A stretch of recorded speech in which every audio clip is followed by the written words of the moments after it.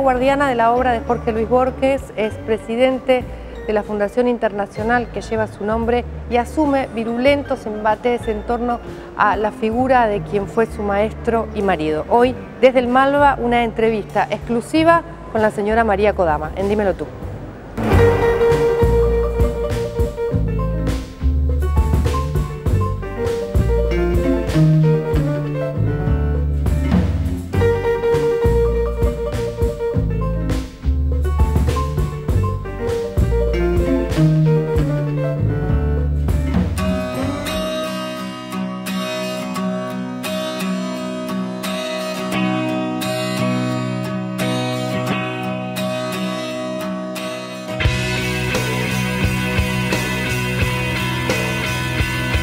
Bienvenida María Kodama, gracias por estar con nosotros, escritora, maestra de literatura, ¿no? profesora de literatura y además la, fiel defensora de, la obra de Jorge Luis Borges, presidenta de la Fundación Internacional que lleva su nombre. Gracias por estar con nosotros en Dímelo Tú. Hace mucho tiempo que, tuve el placer de conocerte y bueno, esta es la segunda vez. Sí, es cierto. María, naciste en Buenos Aires, pero tu ascendencia eh, viene también de Japón, Alemania, ¿no? Y, España. Tenés una mezcla ahí de culturas. Tu padre era internacional. Tu padre era eh, japonés, era químico fotógrafo. Sí. Se llamaba Yosaburo Kodama.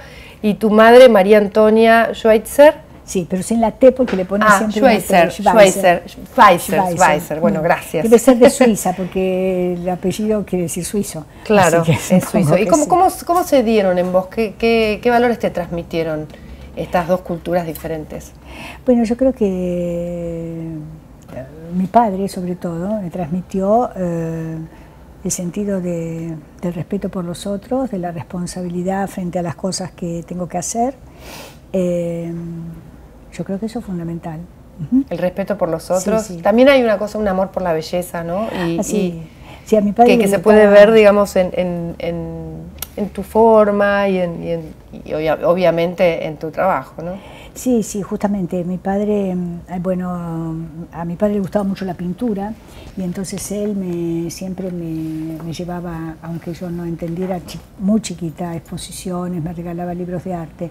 Y un día, em, yo creo que lo cuento ahí o en otro lado, eh, ah, yo había escuchado la palabra seguramente belleza. Entonces, yo le pregunté, Kodama, ¿qué es la belleza? Entonces me dijo, bueno, eh, que me lo iba a explicar la semana siguiente, mis padres estaban separados. Entonces... ¿Te veía una vez por eh, semana? Sí, a veces más, dependía. Pero bueno, me dijo, la semana que viene se lo, explico. Me trajo un libro de regalo que yo guardo, por supuesto, hasta el día de hoy, eh, que es un libro de Penguin de esculturas griegas. Entonces trae el libro señalado, abre el libro y me muestra la victoria de Samotracia. Mm. Entonces yo le dije, pero no tiene cabeza. Y él fue típica observación de la criatura. no, pero bien. No tiene cabeza. Entonces él me dijo algo que yo le pedí siempre que me lo repitiera eh, a medida que iba creciendo, porque me pareció, eh, primero yo no lo entendí bien, pero cuando lo entendí era una cosa realmente, eh, sí, la perfecta definición de lo que es belleza.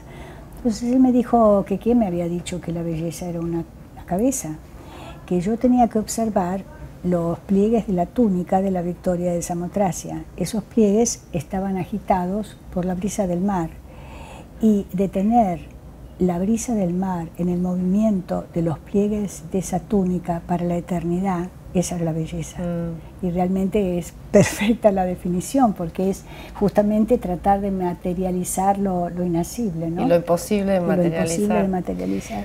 Y, mm, de alguna manera esa belleza seguramente te ha unido al escuchar esos poemas de, Borges que en algún momento una maestra tuya te leyó, ¿no?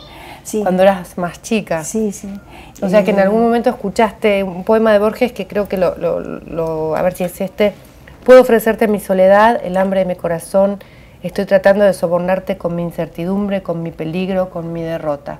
Sí, y a mí me fascinó porque tenía una profesora eh, muy especial eh, que tenía que enseñarme inglés. Eh, yo era muy chica, estaba fascinada porque mm, no creo que haya aprendido inglés con ella, pero me enseñó muchísimas cosas y entre ellas me descubrió a Borges.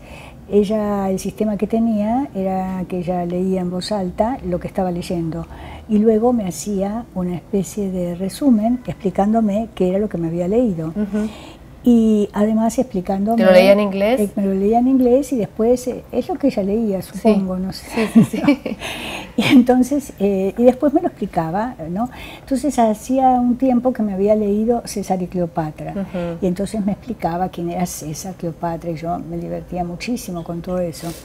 Y bueno, qué ofrecía ese hombre a esa mujer, qué esperaba esa mujer de ese hombre, etc. Y cuando después de un tiempo me lee este poema, a mí lo que me llamó la atención era el hambre de mi corazón, porque es algo totalmente anómalo, ¿no es cierto? Sí, sí, me sí. impresionó muchísimo. El hambre de mi corazón. Puedo ofrecerte el hambre de mi corazón. Claro, entonces yo dije, ¿cómo el hambre es apasionado. Es claro, pero yo no, yo tenía cinco años, yo no podía entender qué era el hambre de mi corazón.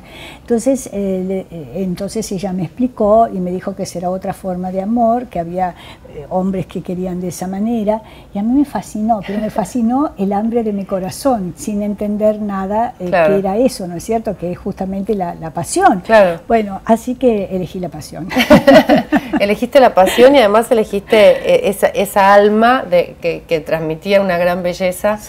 Y que, y que la sentiste como parte de tuya, porque después incluso el, el un amigo de tu padre te llevó a los 12 años a escuchar unas conferencias sobre él. Él, él, las daba, él, las daba. O sea que ahí lo conociste a los 12. Ahí lo conocí, sí. Y eh, fue muy interesante porque digamos que eh, yo no entendí nada. Yo quería siempre enseñar y, escribir, sobre todo enseñar porque... ¿Vos querías escribir? ¿Ya sabías que querías escribir? Sí, sí, yo inventaba, por ejemplo, obras de teatro para mis osos y mis muñecas, que representaba ante la paciencia de mi familia, eh, para Navidad y Año Nuevo los estrenaba y los hacía actuar como, como títeres. Sí. Y me gustaba, me divertía mucho eso. Entonces eh, este hombre dijo, bueno, era fanático de Borges y dijo, bueno, si esta chica quiere este, escribir y enseñar, tiene que escuchar por lo menos una vez en su vida a este hombre. Mm. Y me llevó de la conferencia, creo que no entendí nada, pero eh, era sobre, creo que un tema complejísimo, debía ser de tipo filosófico, no recuerdo, sé que no entendí. Pero lo que sí me fascinó fue darme cuenta de una cosa, yo era muy, muy tímida. Mm. Entonces, eh, yo una de mis angustias era cómo yo iba a poder enseñar eh, si cuando había tres personas en mi casa yo me escondía debajo de la cama o en un placar. Entonces yo cómo iba a poder enseñar. Porque hay que tener valentía. Para... Hay que tener, claro, una presencia y no ser tímido. y además, ¿cómo podía enseñar si yo no tenía volumen de voz? Yo no mm. tengo volumen de voz. Y cuando yo vi con una sala llena de gente que entró este señor yo dije, pero este señor es más tímido que yo, porque uno siente al otro, ¿no? Lógico. Yo digo, es más tímido que yo. Se reconoce, ¿no? Exactamente. Y cuando empezó a hablar, yo dije, pero no tiene voz. Entonces, si él puede, yo voy a poder. De modo que esa fue la primera gran eh, enseñanza que, que me dio.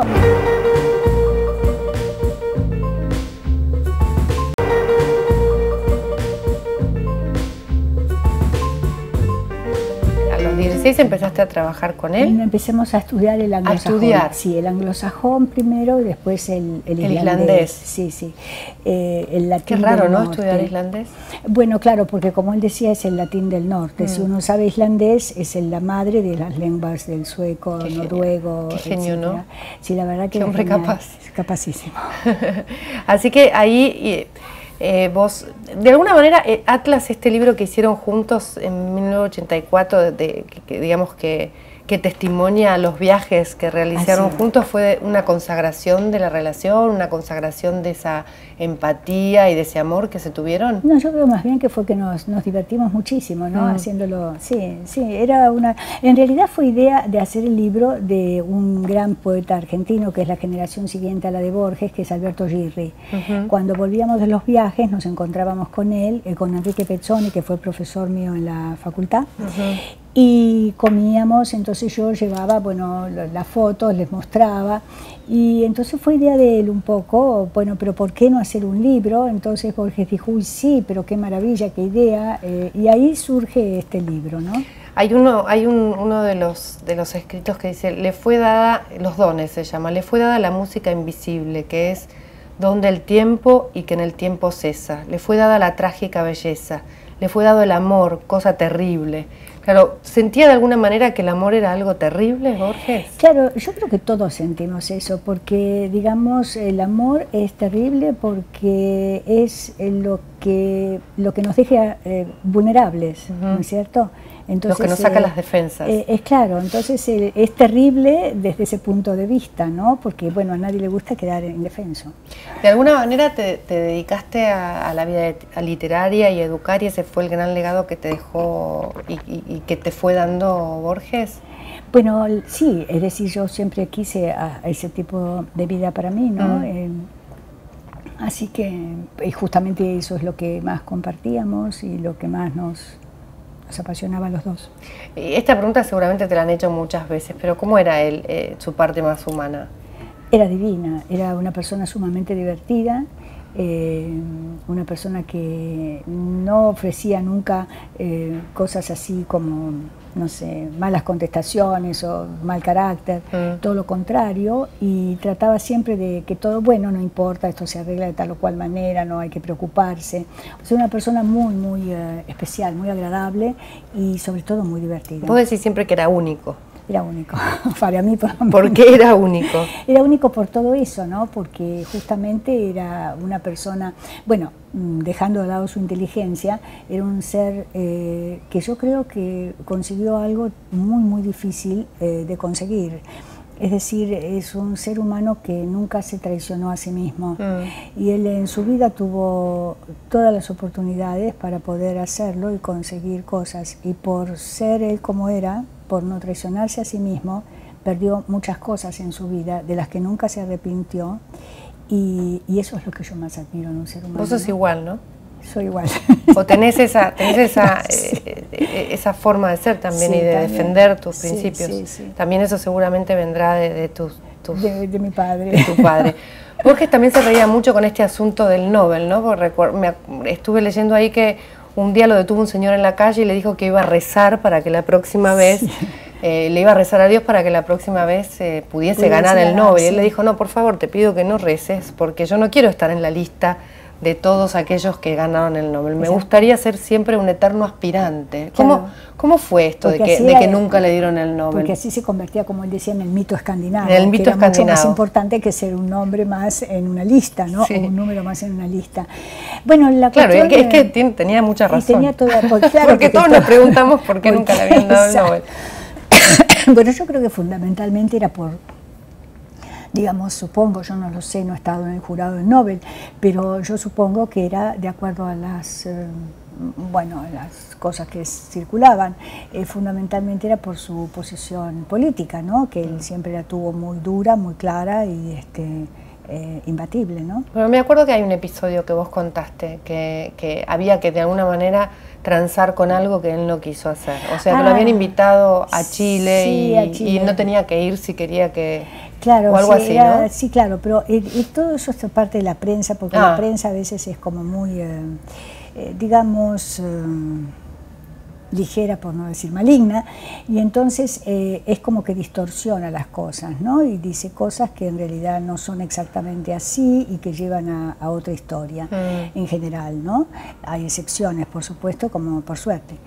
Y entonces lo que sucede es esto, es decir, cuando a una persona, a un, a un escritor, a un científico, supongo que será lo mismo, yo puedo hablar por un escritor, que es lo que conozco, eh, se le da un doctorado honoris causa, eh, digamos que el presidente del país asiste y hace, eh, o, da una comida o asiste al, eh, a ese homenaje. Eh, por ejemplo, cuando le dieron el doctorado honoris causa en la Sorbonne estuvo Mitterrand, cuando le dieron el doctorado en Cambridge fue un almuerzo en los jardines de la universidad eh, con la presencia del marido de la reina de Inglaterra que bajó en helicóptero. Es decir, es, lo que, es, un protocolo. protocolo. Entonces él tenía que ir a Chile a recoger el doctorado honoris causa de la Universidad Católica. Entonces, evidentemente, iba a estar Pinochet iba a estar, por supuesto, porque eso es el protocolo.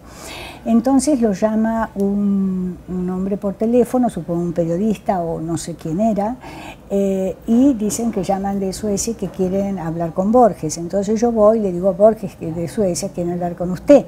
Entonces él me mira y me dice, bueno, no nos hagamos ilusiones. Y va, atiende el teléfono. Claro, porque pensaban que a lo mejor le iban a dar el premio yo Pensé, él, no nos hagamos ilusiones, es que él sabía que no. Entonces, eh, bueno, estábamos allí, yo, yo siempre lo dejaba el que hablara solo por teléfono, yo nunca me quedaba al lado por respeto, ¿no? Porque cada persona tiene que arreglar sus cosas eh, ella misma, sin testigos. Y él me sostuvo, me retuvo. Entonces, eh, por lo que él decía, yo imaginé lo que el otro le estaba diciendo. Entonces él escuchó atentamente y le dijo, bueno, yo le agradezco mucho su preocupación, pero ¿sabe qué pasa? Hay dos cosas que un ser humano, que un hombre, no puede eh, aceptar. Eh, sobornar o dejarse sobornar. Eh, de modo que lo siento mucho, le agradezco a usted, mi deber es ir a Chile. Buenas tardes. Entonces yo le digo, y me dice, bueno, pero ¿qué pasó? Entonces me dijo que el otro le había dicho que si no iba a Chile, sus posibilidades eran mejores ese año, pero entonces eh, yo le digo, ¿no quiere usted decir que está enfermo? O que... Y nunca me voy a olvidar, porque él me, me abrazó y me dijo, eh, y puso su frente contra la mía y me dijo, ¿usted haría eso? No. ¿Y por qué quiere que lo haga? Le digo, yo no quiero que lo haga, yo le digo que si usted quiere lo piense. Y me dice, usted sabe que es no. ¿Te emociona? bien. Sí, la verdad que sí, porque fue un momento para mí muy, especial y además de, de sentir por él una enorme admiración.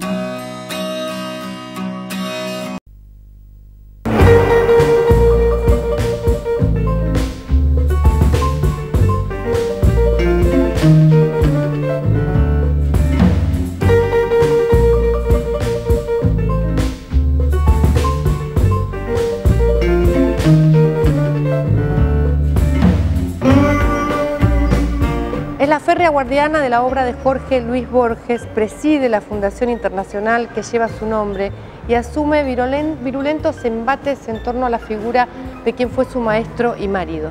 Hoy, en Dímelo tú, desde el Malva, una entrevista exclusiva con María Kodama.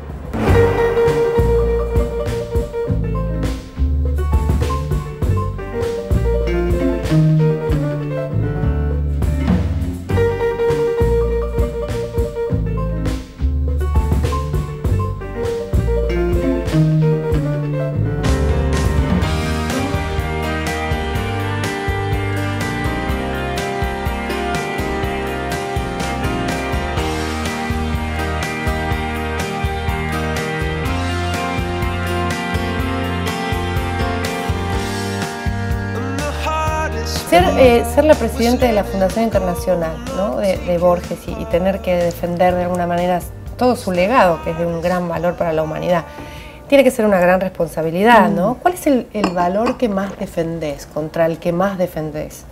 Eh, eh, todo su legado, su obra. Yo creo que no se... Su nombre. Claro, y sobre todo que no se bastarde lo que él ha escrito, ¿no es cierto? Eh, por ejemplo, cuando circulaba ese poema absurdo, instantes o momentos, bueno, yo en forma desesperada, durante ocho años de mi vida, busqué como una especie de detective de dónde venía eso, cómo había sido, por qué se lo atribuían, hasta que encontré el original del poema en Nueva York, en una agencia, en Bantam Press, ¿no es cierto?, impreso el mm. poema en una antología. Entonces traje todo eso a Buenos Aires y fui al juzgado para decir que me dieran una comprobante que yo me presentaba allí para, eh, con todas las pruebas, que ese poema no, no era de Borges, ¿no? Porque yo no puedo permitir que el día de mañana digan o que él plagiaba o que yo soy cómplice de plagio. Claro. Y ese poema tiene una autora que es una mujer, que se llama Nadine Stein, y ese poema no es de Borges, como decía otro, los amigos y no sé qué cosas, todos esos que circulan por internet son falsos, ¿no? Son falsos. Sí, sí. Entonces el valor sería resguardar, eh, la, verdad de esa obra, digamos, que esa obra quede intacta. exactamente. Y que nadie pueda bastardearla. Exactamente, eso fundamentalmente, ¿no es cierto? Y después la propagarla, es decir, eh, digamos, eh, como lo, lo, que hago, ¿no? Es decir, eh, ir a, universidades, a colegios. justamente esta mañana estuve en la fundación con un grupo que yo no sabía que existía, de, eran un grupo de estudiantes entre 15 y 17 años que hace tres años viajan por el mundo, todos de distintas nacionalidades, y con dos profesoras, y entonces pero precioso y dan exámenes por la, como dan los hijos de los diplomáticos, ¿no? Eh, así, en el colegio que es especial para los chicos que son hijos de diplomáticos, y había de todas las nacionalidades, de Bután, de Austria, de mm, Canadá, pero era maravilloso ver esos chicos, eh, en cada lugar tienen que aprender un poco el idioma, tienen que ver cosas importantes claro, bueno, Algo importante era conocer la obra de la Borges. obra de Borges, la fundación y ver todo eso, por eso. Eh, ¿Te sentiste ofendida cuando leíste Borges eh, Los diarios de Adolfo Bioy Casares, este libro que cuenta un poco las conversaciones que tenían Borges y Bioy?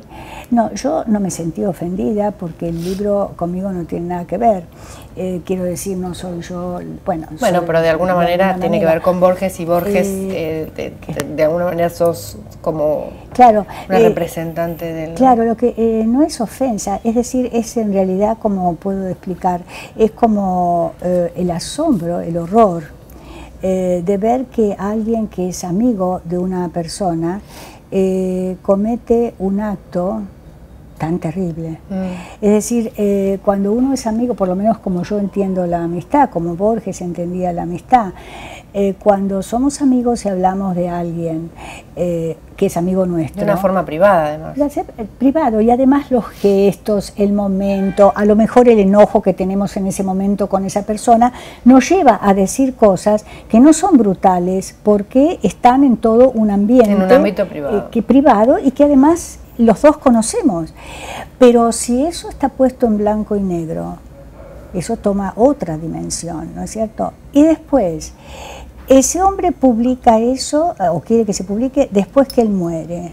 O sea que no tiene el valor de asumir la responsabilidad de lo que o Borges dijo, o pedirle permiso además. Exactamente, o él puso en boca de Borges. Porque ¿Fue, ¿fue Bioy el que publicó esto o fue su familia eh, después? no, no, yo creo que fue el que quedó como albacea de él, pero evidentemente un albacea es el que justamente tiene a su cargo, eh, si el autor dice esto no se publica, mm. esto no se publica. O sea, si le da la carta blanca, sabe que va a publicarse, ¿no? Ellos de todas maneras tenían eh, una influencia mutua, vos ¿Vos sabías que ambos se habían influenciado en su escritura, en su vida? Porque tenían muchos encuentros. ¿no? ¿no? no, lógico. Esa es la pena, porque él hubiera quedado magnífico si hubiera tomado toda la primera parte de la relación de él y Borges cuando escriben los este, bustos Domecq y todo esto. Bueno, esa parte eh, tiene que haber sido una parte de creación, de intercambio, maravillosa. Claro, por supuesto. Eh, pero evidentemente... Además consensuada. exactamente, y hubiera sido espléndido el libro. Pero si una persona que invita a su casa a alguien que es ciego, eh, luego eh, de algún modo se burla diciendo que comía con las manos, esto es lo que puedo decir, porque hay otras cosas que no puedo decir por, por educación y por respeto, ¿quién queda mal? ¿La persona que come con las manos porque es ciega? Borges comió desde todos los comedores estudiantiles de las universidades de Estados Unidos hasta con el marido de la reina de Inglaterra. Nadie lo vio comer con las manos, porque para eso estaba yo, para hacerlo de la manera más discreta ayudándolo. Entonces yo lo que creo es que el que queda muy mal no es Borges, sino es eh, este hombre, si una persona razona y piensa como... No debe ser fácil, ¿no? tener que, que, enfrentar esos embates bastante virulentos, porque después también salieron a defenderlo, ¿no? Ante algo bueno, pero ¿quiénes salieron a defenderlo? Por favor. Contame, porque, de, claro, porque tú... tú es muy importante lo que vos decís y acá no, nadie puede editarlo. No, pero es que, es que es así, ¿quiénes salieron a defenderlo? Esas personas que son este, Alejandro Bacaro y Roberto Alifano no existen.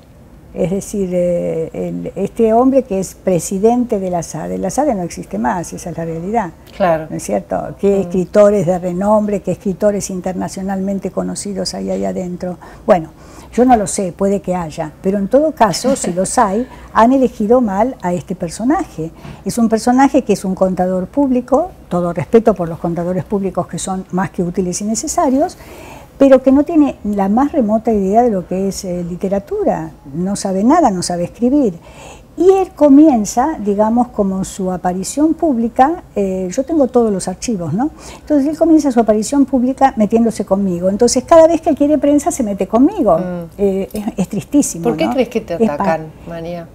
Mira, yo creo que me atacan ellos, porque cuando vos ves los diarios es media docena de personas, eh, tristísimas todas. por despecho la señora, por despecho también eh, la mucama, que posiblemente pensaba que, eh, como toda persona a veces que queda sola, ella iba a convertirse en no sé en qué. Bueno, eh, y por, por codicia y por envidia, esos señores que no son nada, no existen. Y entonces ellos existen solamente cuando vos ves todos los diarios, que yo tengo todo el material, entonces vos ves que ellos existen solo por el ataque a mi persona. Entonces yo creo que es eso simplemente, es una mezcla de, envidia, de celos, de frustración, es toda la cosa más negativa del ser humano que ellos eh, la, digamos... Y que siempre, lamentablemente, tiene prensa, porque a los medios les, les interesa eh, a veces hacer esos, esos eh, esas idas y venidas. Esas idas y venidas. Y lo que es más triste todavía, yo creo, es, ¿cómo te puedo decir? Que la prensa esté en eso, ¿viste? Porque, por ejemplo, eh, yo te digo, en otros países eso no existe, no existe, ¿te, das cuenta? No, Son cosas que... No, no, no, le dan el valor que, que realmente no tiene. Exacto, pero acá vos ves, por ejemplo, te das en una nota, entonces en la nota, bueno, vos decís ABC, no, no solo en las mías, te digo en general, vos ABC. Y resulta que después el que hace la edición de tu nota pone los copetes, creo que se llaman, que contradicen lo que vos estás diciendo. Y como la gente lee los copetes, ¿te das cuenta? Y después no lee es muy perverso.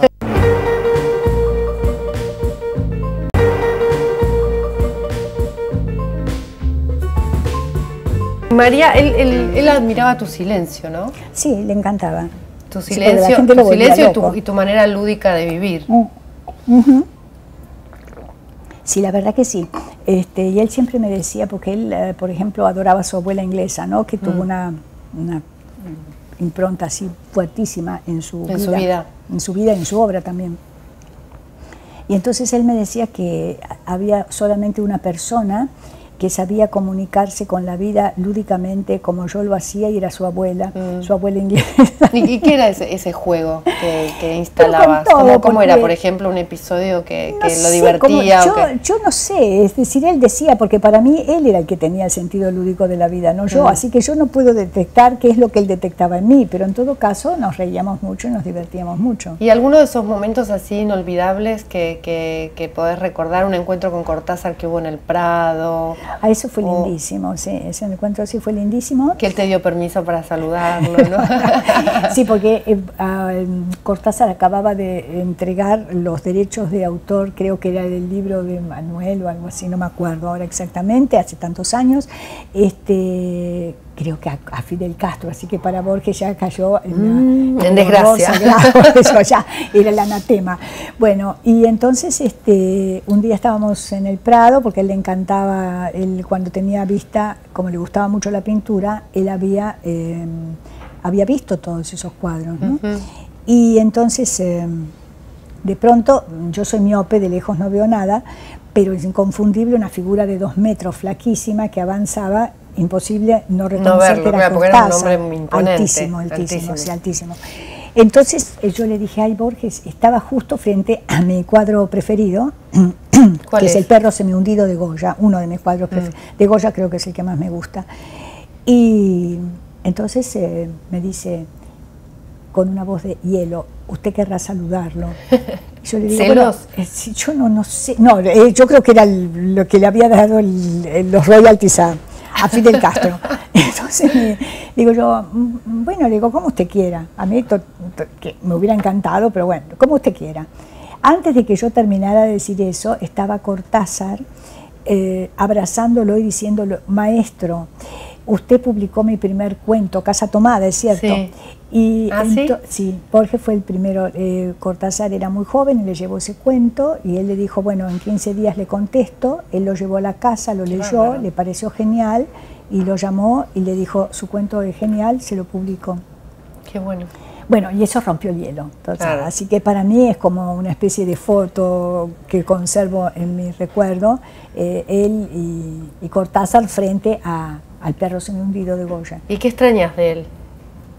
Bueno, lo que pasa es que como que estuviera siempre, extraño su presencia, digamos, mm. ¿no? Pero después no, porque es como una compañía permanente, porque eh, la gente me habla de él, es como el milagro secreto, digo mm. yo, eh, que es como, aunque sé que partió, es como si estuviera porque hablamos de él, la gente me encuentra por la calle, me saluda, no me conoce, me pregunta cosas de él, doy conferencias sobre su obra, entonces es como estar todo el tiempo. ¿Y nunca te molestó, digamos, que, que, tu vida sea de, de alguna manera parte de su vida? ¿O al contrario? Yo creo, claro, porque es como cuando vos querés a alguien, supongo que es, eh, que es así, ¿no? Sí, y además con la admiración que vos tenías, claro, que tenés. que tengo, y además es como, es como si fuera la mitad de tu alma, entonces no, no sentís eh, celos o o que por qué, no, me parece, me parece que es lo lógico, lo normal, lo natural. ¿Y en algún momento crees que, que sus restos deberían estar en la Argentina? ¿Cómo fue ese final en Ginebra? Eh, sí, no es lo que yo quiera, es lo que él quiso. Es lo que él quiso. Es lo que él quiso. Eh, el, problema es que cuando él sabe que está enfermo, no es cierto que va a morirse, porque lo, lo supo desde acá, teníamos nosotros una visita, el, una invitación de Italia. Entonces él dijo, bueno, eh, le pregunta al médico, el médico le dice que sí, que puede ir. Y entonces fue una, realmente una gira triunfal, algo maravilloso, porque estuvo con la radio en un programa de televisión de hora y pico, casi dos horas, estuvimos en la ópera, estuvimos con Pertini, y él pudo ver una retrospectiva de Fuseli que él había visto en su juventud y adoraba, sobre, sobre todo eso, la, la pesadilla de Fuseli. Así que fue todo perfecto. Cuando terminamos me dijo, bueno, que quería ir a Ginebra y me pareció lógico, lo muy lógico, yo pensé, bueno, quería despedirse, está bien. Y cuando llegamos me dijo, hay que buscar un departamento en la ciudad vieja, yo no vuelvo. Entonces eh, yo dije, bueno... Yo no vuelvo a, la, Argentina. Yo no vuelvo, así que busquemos, eh, yo quiero morir en una casa, etcétera. Bueno, Él sentía que era su momento. Claro, entonces dijo allí. Bueno, él sabía que iba a morir, ¿no? Entonces, entonces eh, yo no discutí nada eh, y mm, le digo, bueno, entonces hablé con los editores eh, y los editores me dijeron que sí, porque yo pensé que a lo mejor él no se sentía bien y no quería hacer el viaje. Los editores me dijeron que tanto Francia como España, si él realmente quería volver, ellos podían conseguir que volviera en un avión sanitario que incluso tienen a veces sala para operar y todo, bueno, no había problema. Entonces yo le dije al médico de él eso, para que se lo comentara. Y cuando a la noche comimos, después volvemos al hotel, entonces él me dijo si había hablado con el médico, le dije que sí, que le había dicho, si se podía saberlo, le dije que sí, le conté. Entonces él me dijo eh, que, que él no quería, que por qué yo había hecho eso. Entonces yo le dije, yo es para yo lo hice con esta, con esta finalidad que es lo que me gustaría que hicieran conmigo. Eh, claro, que, me, dieran la opción. Ser libre, ¿no es cierto? Tener la posibilidad de la elección, la libertad. Por supuesto. Eh, si usted quiere volver, usted sabe que puede. Si usted no quiere volver, yo no lo voy a obligar a volver. Hacerlo como usted quiera. Y entonces mm, también él, bueno, me dijo algo que es terrible porque él me dijo que eh, como él sabía cómo yo lo quería, eh, yo no podía querer ver, y yo me había olvidado de esa historia, pero a él le quedó grabada, yo no podía querer ver eh, su agonía empapelando las calles de la ciudad, como había sucedido con, creo que era Balbín, ¿no? Con Balbín. Con Balvin, que estaba en terapia intensiva y que qué vergüenza que la enfermera había dicho que los periodistas le dieron plata. Un juicio por eso. Eh, y bueno, con toda Sí, sí, la sí. razón del Claro, mundo, claro, es sí, una sí. cosa que no. Entonces él me dijo, usted no puede querer, le digo, yo no quiero eso, por supuesto, es lo que usted quiera, usted quiere quedarse, nos quedamos y no hay problema. Así que él- él- ese fue su, su- Claro, su y además, deseo. exactamente, y además poco tiempo antes, me acuerdo que yo tengo también la entrevista que le había hecho un periodista que vino, que creo que era suizo, y el, el título de la nota era El sueño imposible de Jorge Luis Borges ser ciudadano suizo. Porque los suizos no dan nada. Pero divino, porque, bueno, él amaba ese, ese lugar, ¿no es cierto? Él Sí. decía que era una de sus patrias. ¿Sentís eh, que lo valoraron en Argentina? Como Yo se creo lo que- merece. eh, yo creo que sí, ¿no es cierto? Es decir, este, bueno, no es una cosa masiva, nadie es adorado masivamente, además eso es muy peligroso, ser adorado masivamente. Sí, Mejor es saber una parte positiva y una parte negativa, eso es el equilibrio. y, pero creo que sí, creo que, que, que sí, que lo han querido mucho. Bueno, de hecho, cuando yo, una de mis profesoras es eh, Ana María Barrenechea, que murió y una persona extraordinaria. Ella es la que introdujo, por ejemplo, ahora no sé, pero en la época en que yo estudié, la, la obra de Borges como materia dentro de la carrera de literatura en la Universidad de Buenos Aires. y, y bueno, y hay toda una camada de escritores españoles eh, que reconocen eh, que Borges cambió el rumbo de la literatura en lengua española.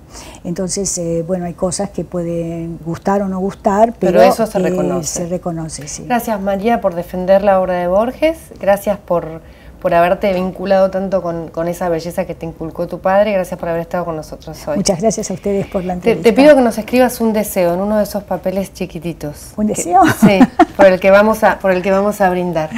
Bueno, a ver, ¿con esto? Sí, Eh,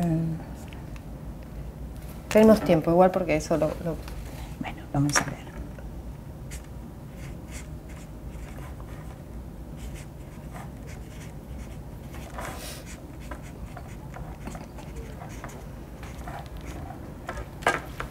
Kodama ponemos acá.